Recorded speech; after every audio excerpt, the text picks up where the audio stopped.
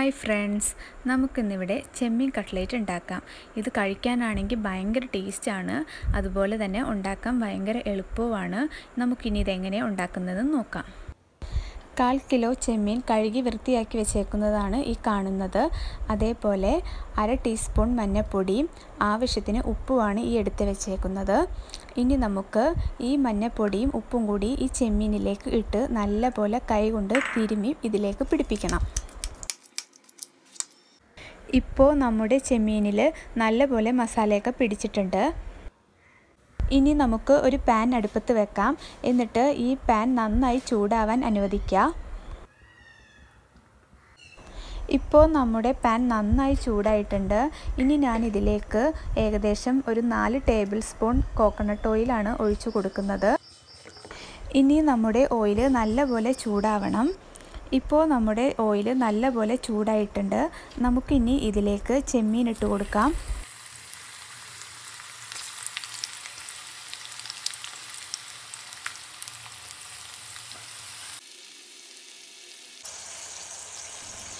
ഇപ്പോൾ നമ്മുടെ ചെമ്മീനെല്ലാം ഫ്രൈ ആയി വരുന്നുണ്ട്.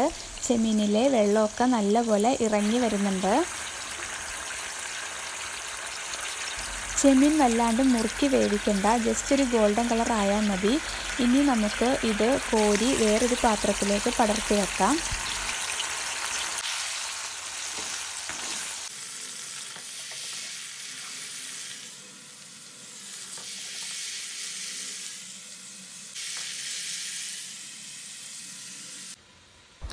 ഇപ്പോൾ നമ്മുടെ ചെമ്മീൻ ഫ്രൈ ആയിട്ടുണ്ട്. ഇനി നമുക്ക് ഇതൊരു മിക്സിയിലിട്ടിട്ട് പൊടിച്ചെടുക്കാം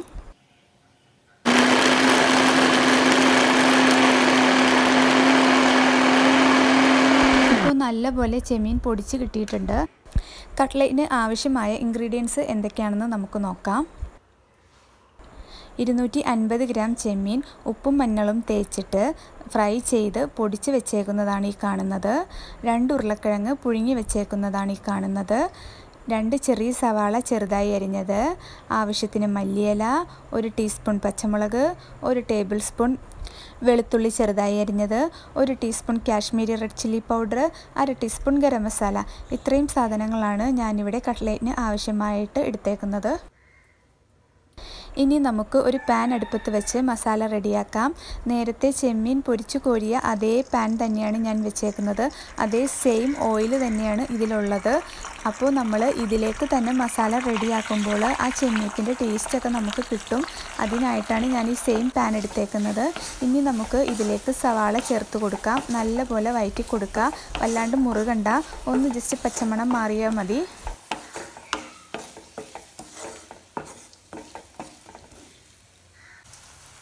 ഇനി നമ്മൾ ചെറുതായി അരിഞ്ഞ് വെച്ചേക്കണ വെളുത്തുള്ളി ചേർത്ത് കൊടുക്കാം. ഏകദേശം ഒരു ടേബിൾ സ്പൂൺ വെളുത്തുള്ളിയാണ് ഞാനിതിലേക്ക് ചേർത്ത് കൊടുക്കുന്നത്. വെളുത്തുള്ളിയുടെ പച്ചമണം മാറുന്നത് വരെ ഇതുപോലെ ഇളക്കി കൊടുക്കാം. വേണമെങ്കിൽ നമുക്ക് വെളുത്തുള്ളി പേസ്റ്റ് വേണേലും ആഡ് ചെയ്യാം. ഞാൻ കട്ട്ലേറ്റ് ഉണ്ടാക്കുമ്പോൾ നമുക്ക് ചെറുതായിട്ട് വെളുത്തുള്ളി കടിക്കാൻ കിട്ടാൻ വേണ്ടിയാണ് വെളുത്തുള്ളി ചെറുതായി അരിഞ്ഞിട്ടേക്കുന്നത്.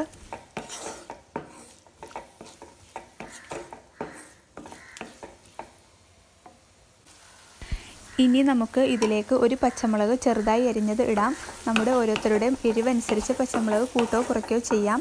ഞാനിവിടെ ഒരു പച്ചമുളകാണ് എടുത്തേക്കുന്നത്. അതും ഇതുപോലെ തന്നെ പച്ചമണം മാറുന്നത് വരെ ഇളക്കി കൊടുക്കുക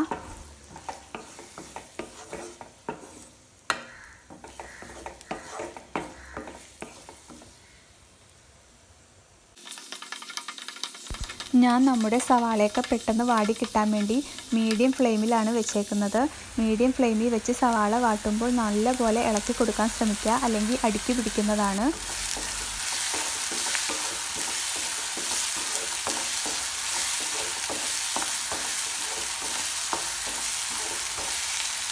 ഇനി നമുക്ക് ഇതിലേക്ക് മസാല ചേർത്ത് കൊടുക്കാം. ഞാൻ എടുത്ത് വെച്ചേക്കുന്ന ഒരു ടീസ്പൂൺ കാശ്മീരി റെഡ് ചില്ലി പൗഡറും അര ടീസ്പൂൺ ഗരം മസാലയുമാണ് ചേർത്ത് കൊടുക്കുന്നത്.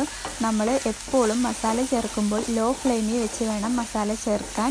കാശ്മീരി റെഡ് ചില്ലി പൗഡർ ചേർക്കുകയാണെങ്കിൽ നിങ്ങൾക്ക് നല്ല കളർ കിട്ടും ഈ നമ്മുടെ മസാലയ്ക്ക്.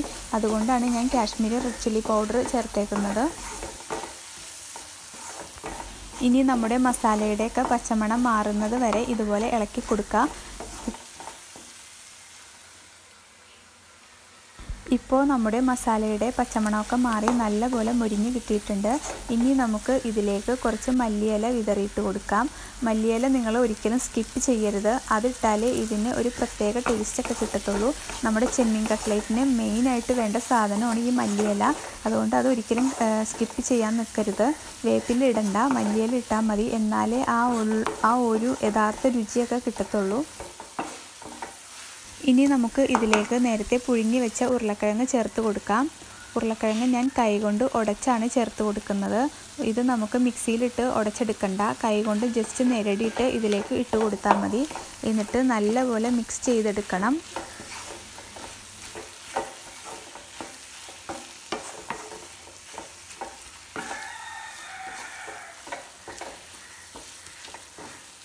ഇപ്പോൾ നമ്മുടെ ഉരുളക്കിഴങ്ങ് നല്ലപോലെ മിക്സ് ആയിട്ടുണ്ട്. ഇനി നമുക്ക് പൊടിച്ച് വെച്ചേക്കുന്ന ചെമ്മീൻ ഇതിലേക്ക് ആഡ് ചെയ്ത് കൊടുക്കാം.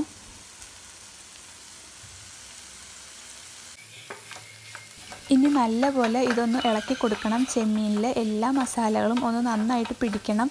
ഈ സമയത്തൊക്കെ നമ്മുടെ ഫ്ലെയിം ലോ ഫ്ലെയിമിലായിരിക്കണം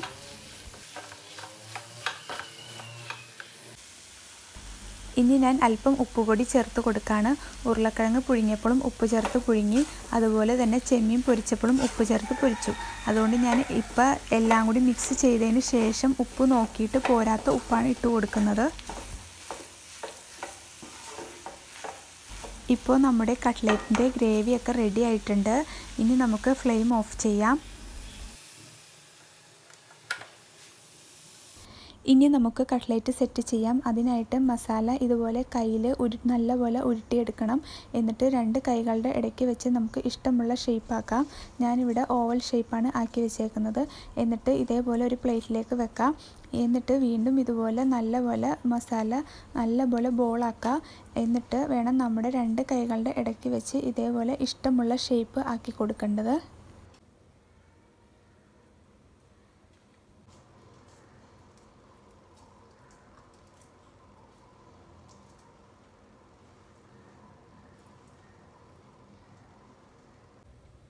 ഇപ്പോൾ നമ്മുടെ മസാലയെല്ലാം കൈകൊണ്ട് ഇതുപോലെ നല്ല ഷേപ്പാക്കി വെച്ചിട്ടുണ്ട്. ഇനി നമുക്ക് ഇത് സെറ്റ് ചെയ്യാം. സെറ്റ് ചെയ്യാൻ വേണ്ടി ഇവിടെ റസ്ക് പൊടിയും മുട്ടയുമാണ് എടുത്തേക്കുന്നത്. ഒരു കപ്പ് റസ്ക് പൊടിയും ഒരു മുട്ട കലക്കി വെച്ചതുമാണ് ഈ എടുത്തേക്കുന്നത്. ഇനി നമുക്ക് സെറ്റ് ചെയ്ത് വെച്ചേക്കുന്ന കട്ട്ലേറ്റ് ആദ്യം മുട്ടയിൽ മുക്ക. അതിനുശേഷം റസ്ക് പൊടിയിൽ മുക്ക. എന്നിട്ട് ഒരു പ്ലേറ്റിലേക്ക് മാറ്റി വെക്കുക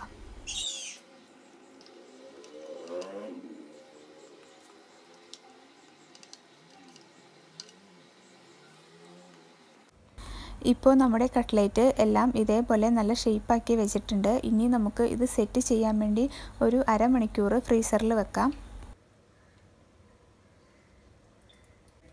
അരമണിക്കൂറിന് ശേഷം ഫ്രീസറിൽ നിന്ന് എടുത്ത കട്ട്ലേറ്റാണ് ഈ കാണുന്നത്. ഇപ്പോൾ നമ്മുടെ കട്ട്ലേറ്റ് എല്ലാം നല്ല കല്ല് പോലെ ആയിട്ടുണ്ട്. ഇനി നമുക്ക് ഇത് ഫ്രൈ ചെയ്യുമ്പോൾ പൊടിഞ്ഞു പോകത്തില്ല അതുകൊണ്ടാണ് നമ്മൾ കട്ട്ലേറ്റ് സെറ്റ് ചെയ്തിട്ട് ഒരു അരമണിക്കൂർ ഫ്രീസറിൽ വെക്കുന്നത്. ഇനി നമുക്ക് ഒരു പാൻ അടുപ്പത്ത് വെക്കാം. ഈ പാൻ നല്ല പോലെ ചൂടാവണം. നല്ല പോലെ ചൂടായി കഴിയുമ്പോൾ ഇതിലേക്ക് ഓയിൽ ചേർത്ത് കൊടുക്കാം. ഞാനിവിടെ കോക്കനട്ട് ഓയിലാണ് ചേർത്ത് കൊടുക്കുന്നത്. ഏകദേശം ഇത് പൊരിച്ചു കോരാനുള്ള ഓയിലാണ് ഞാൻ ഇതിലേക്ക് ഒഴിച്ചു കൊടുക്കുന്നത്. ഒരു നാല് ടേബിൾ സ്പൂൺ ഓയിൽ ഞാനിപ്പോൾ ഒഴിച്ചു കൊടുക്കുന്നുണ്ട്. ഇപ്പോൾ നമ്മുടെ ഓയിലൊക്കെ നല്ലപോലെ ചൂടായിട്ടുണ്ട്. നമ്മൾ ഇനി കട്ട്ലേറ്റ് ഇതിലേക്ക് ഇട്ട് കൊടുക്കണം. കട്ട്ലേറ്റ് ഇട്ട് കൊടുക്കുമ്പോൾ നമ്മുടെ ഫ്ലെയിം ലോ ഫ്ലെയിം ആയിരിക്കണം. ഒരിക്കലും മീഡിയം ഫ്ലെയിമിൽ വെച്ച് കട്ട്ലേറ്റ് ഫ്രൈ ചെയ്തെടുക്കരുത്. കാരണം കട്ട്ലേറ്റ് കരിഞ്ഞു പോകും. അതേപോലെ കട്ട്ലേറ്റ് ഫ്രൈ ചെയ്തെടുക്കുമ്പോൾ ജസ്റ്റ് ഒരു ഗോൾഡൻ കളർ ആയാൽ മതി. അല്ലാണ്ട് കറുത്ത് പോവണ്ട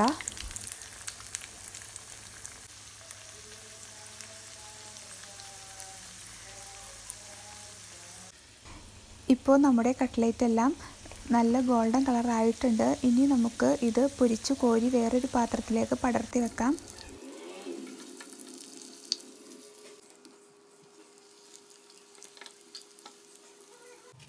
ഇപ്പോൾ നമ്മുടെ എല്ലാ കട്ട്ലേറ്റും ഇതേപോലെ ഫ്രൈ ചെയ്തെടുത്തിട്ടുണ്ട്. ഇതുണ്ടാക്കാൻ ഭയങ്കര എളുപ്പമാണ്. അതേപോലെ നിങ്ങൾ എല്ലാവരും ഇത് ട്രൈ ചെയ്ത് നോക്കുക നിങ്ങൾക്ക് വീഡിയോ ഇഷ്ടമായെങ്കിൽ ലൈക്ക് ചെയ്യുക ഷെയർ ചെയ്യുക കമന്റ് ചെയ്യുക. അതേപോലെ എന്റെ ചാനൽ ഒന്ന് സബ്സ്ക്രൈബ് ചെയ്യുക.